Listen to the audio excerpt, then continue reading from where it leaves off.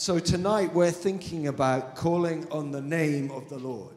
And if you look through scripture, you find a couple of different things that that does. In Psalm 113, it says, Praise the Lord. Praise O servants of the Lord. Praise the name of the Lord. Let the name of the Lord be praised, both now and forever.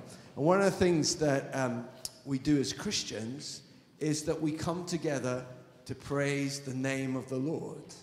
Amen? And there, there's lots of names of God. Anyone want to shout a name of the Lord out? Jehovah? Yahweh? Abba? El Shaddai? Savior? I mean, there's so many that we can call on.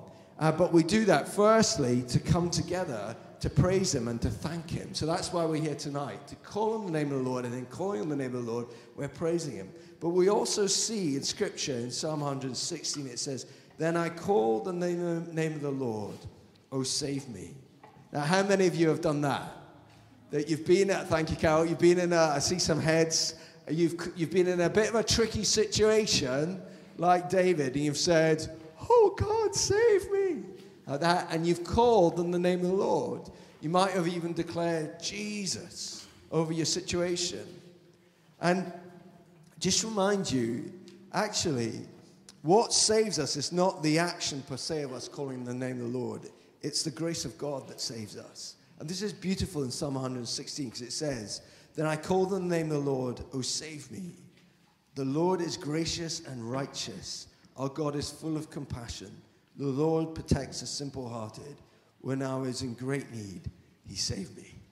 So we see that tonight we can come, and if we are just unsure or just feeling unsteady, we can call on the name of the Lord to save us. But not just to save us, to transform us. Because one of the things that we do is, uh, uh, is that we call on the name of the Lord as Christians. And Paul wrote this in 1 Corinthians uh, verse, chapter 1, verse 2. He said, To the church of God in Corinth, to those sanctified in Christ Jesus and called to be holy, together with all those everywhere who call on the name of the Lord, our Lord Jesus Christ, their Lord and, Savior. And, and so as we come tonight, we're actually, we're calling on the name of the Lord because we are defined by the name of the Lord. We're called Christians. And what does Christians mean? It means little Christs, little anointed ones. And so actually all we're doing is we're calling on the name of the Lord. We're calling the name of our Lord Jesus Christ to, to save us, to transform us, to heal us. And so I want you to just to think tonight, just before we, we, we, we start, just to call on the name of the Lord as we praise Him. What, what do you need the Lord to do for you tonight? Or who? What, what is His name that you need Him? And maybe it's the Lord who provides. Maybe it's the Lord who heals. Maybe it's the Lord who is our peace. Maybe it is Abba Father. Maybe it's Savior. Maybe it's the God of the breakthrough. You know, that's one of the names of God, the God of the breakthrough. Maybe it is Yahweh, I am who I am. And so let's just allow the Spirit of God to come and fill us afresh. Holy Spirit, would you fill us afresh tonight as we come to call on the name of the Lord, to praise you and thank you for who you are and what you do in our lives, but also to allow you to do what your names tell us about you, for your names and your actions cannot be separated. And so we call on your name tonight as your children, as people defined by you, Lord Jesus Christ. Just come, Holy Spirit.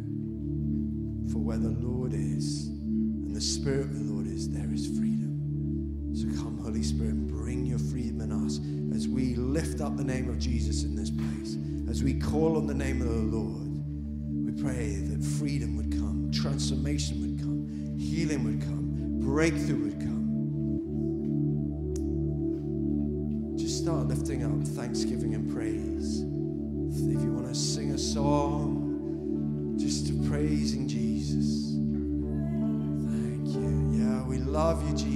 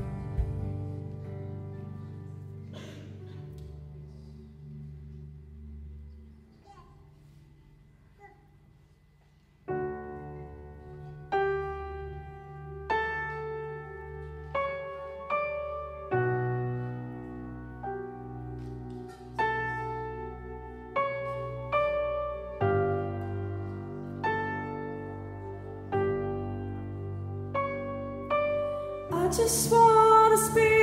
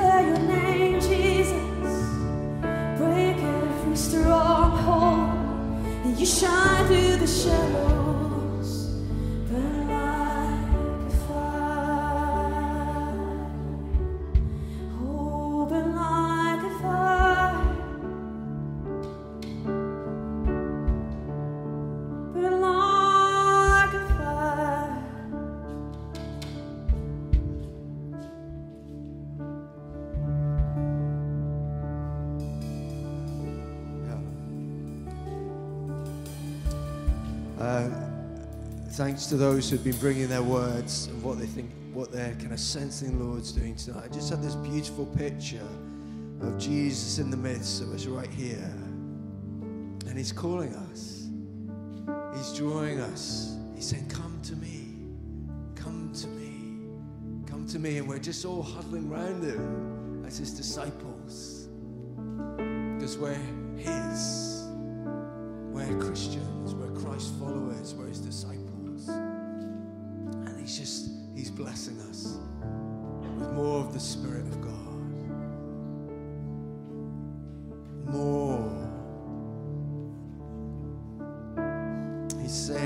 reminding you tonight that you are his. And he wants to fill you fresh, but he's also wanting to send us out to draw us in, but to send us out, to draw us in, to send us out, to draw us in, to send us out. And these times are so crucial for us. Just to be in the presence of God together and to allow Him, as we gather around to lift up His name, for Him to come just to bless us as His disciples, ready to be sent out again in His power and in His name to bring breakthrough, to declare that darkness and sin have been broken, and that we can live in His love and in His life. And so I'm going to ask the ministry team if you can just start moving around and just praying for, just praying Jesus over people I just want you to start just declaring just start worshiping Jesus. Why don't we could just start even just going back to that song? And let's just lift up the name of Jesus tonight as we extol him. And so, ministry, if you can just start moving around, just praying for people to be filled, just declaring Jesus. Uh, even just say to them, You are Jesus' disciple, that he has called you by name. Ministry team, if we can just declare that over that you are Jesus' disciple and he's called you by name, that you are his. That you are his. And then just fill up, ask him to fill with the Spirit. So let's just, ministry team, can we just go around and we're going to continue to worship. We're going to just, just declare this song. Just keep worshiping. Keep worshiping Jesus. He's in our midst and He's moving around and He's loving being here as we lift His name up. Ministry team, we just go around.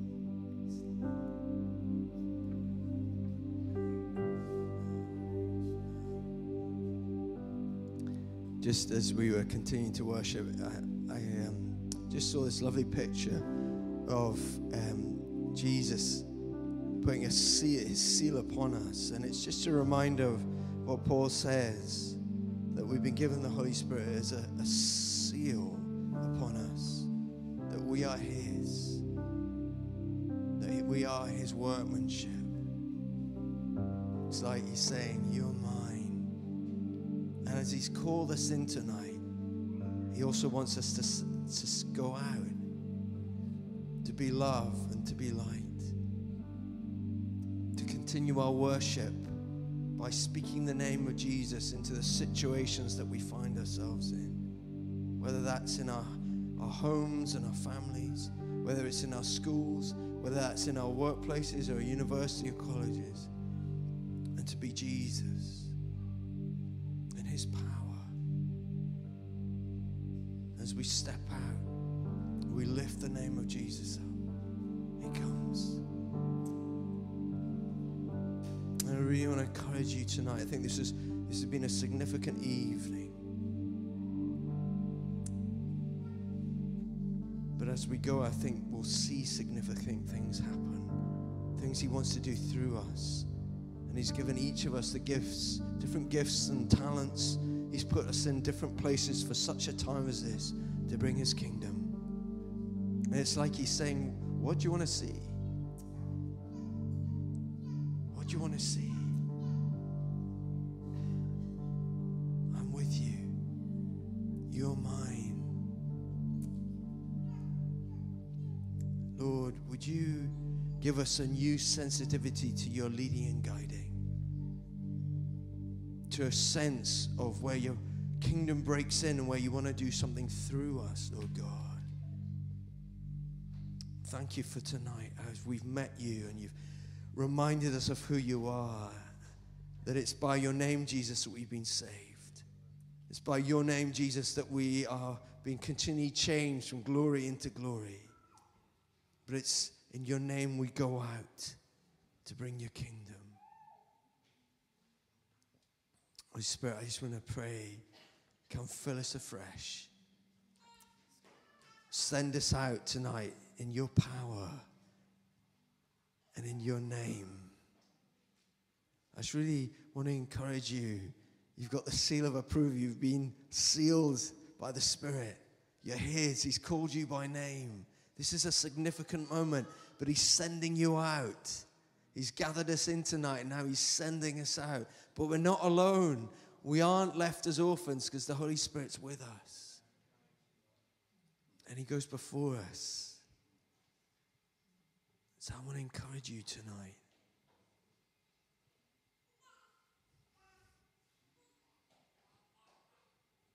To step out in faith this week.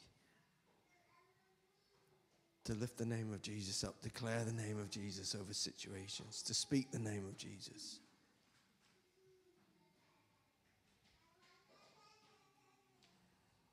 I love when the, the, the church, the early church, started to face persecution, what did they do?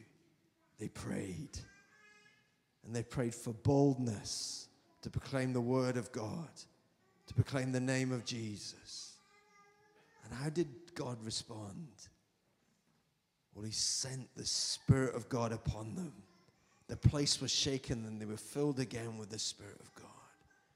Lord, we cry out again for you. Lord, would you give us a, a new boldness for you, Lord Jesus, so that we can declare your word, declare your name.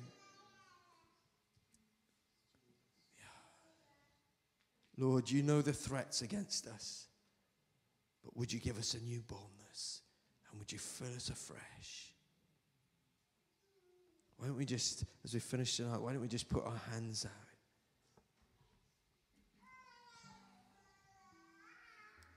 Just more of you, Holy Spirit. Not for our glory, but for your glory, that we would be filled up afresh, ready just to take that opportunity. Just more of you.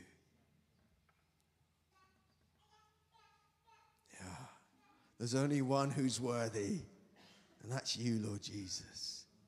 And we just thank you that you've called us by name and that you send us out in your name and that you've called us for such a time as this. And there are things that you have prepared for us to do that have been written down before the beginning of time. And I thank you for that. I want us to finish tonight uh, just by singing that song again. There's only one who's worthy. Is that all right? There's only one who's worthy. But yeah, yeah. they got it eventually. I mean, the worship pastor's sitting, standing there looking and go, what is he talking about? But let, let's, let's really use this. Lord, our praise is a weapon. It's a weapon in our own lives and as we go out. And so let's declare this tonight. There's only one who's worthy. His name is Jesus. Let's lift the name of Jesus up in this place.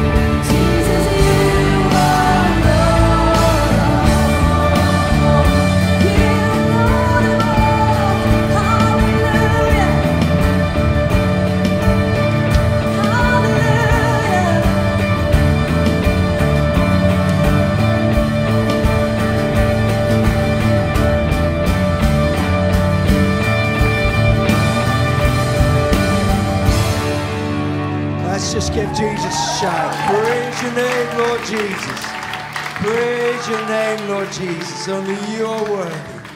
Oh, glory, honor, and power yours. Lord, and as we leave this place, we pray that you would go before us and be preparing these opportunities for us to declare your name and proclaim your name and see your kingdom come. that we'd have fresh testimony to come back uh, this next week and say, Do you know what Jesus did? As I declared him into that situation, as I spoke his name, he brought healing, and salvation, and freedom. Lord, we just pray that you would give us a new boldness for your glory. Your glory alone. It's not for us, but it's for your glory. And that the lost will be found. That those um, who are walking in darkness will be brought to light. Lord, we can't do it without ourselves. We can only do it with you. And so we ask for your blessing. And now may the blessing of the Father, the Son, and the Holy Spirit fill you and remain with you. In Jesus' name, and all God's people said, Amen. Amen. Uh, just uh, one or two things. Just please, if you could just stay around to help us, um, just tidy up, that would be wonderful. Can, if you don't know what to do, can you ask Dave? Uh, I think there's some cables to be kind of. But thank you so much for coming tonight. Bless you. And let's just declare the name of Jesus throughout our lives and over our friends' lives. Blessed be the name of the Lord. Have a great night.